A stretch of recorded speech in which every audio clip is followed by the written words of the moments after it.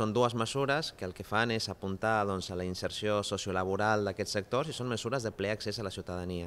Si en moltes ocasions hem dit que el fenomen de la venda ambulant no autoritzada és un fenomen que no es pot entomar d'una perspectiva merament policial, que això ha de tenir una resposta social i el que estem mostrant és que es pot avançar en aquesta resposta social.